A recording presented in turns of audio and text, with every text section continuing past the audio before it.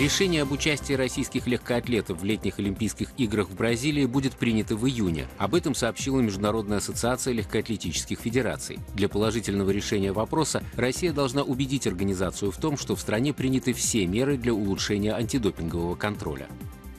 Вероятный кандидат от республиканской партии на выборах президента США Дональд Трамп заявил, что наступит момент, когда нужно будет сбивать российские самолеты, выполняющие опасные маневры рядом с самолетами американских ВВС. Так политик прокомментировал инцидент, когда российский Су-27 в небе над Балтийским морем выполнил опасный маневр рядом с американским самолетом, находясь всего в 30 метрах от него.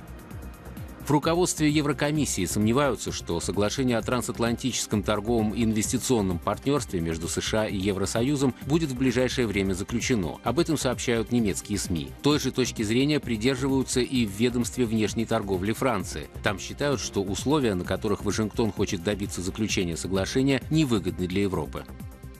Турции принят закон об отмене визового режима для стран шенгенской зоны. В документе указывается, что эта мера вступит в силу с момента отмены Евросоюзом виз для граждан Турции. Ожидается, что 4 мая Еврокомиссия рассмотрит отчет по итогам переговоров с Анкарой о визовой либерализации. В случае одобрения документа шенгенские визы для граждан Турции могут быть отменены к 30 июня.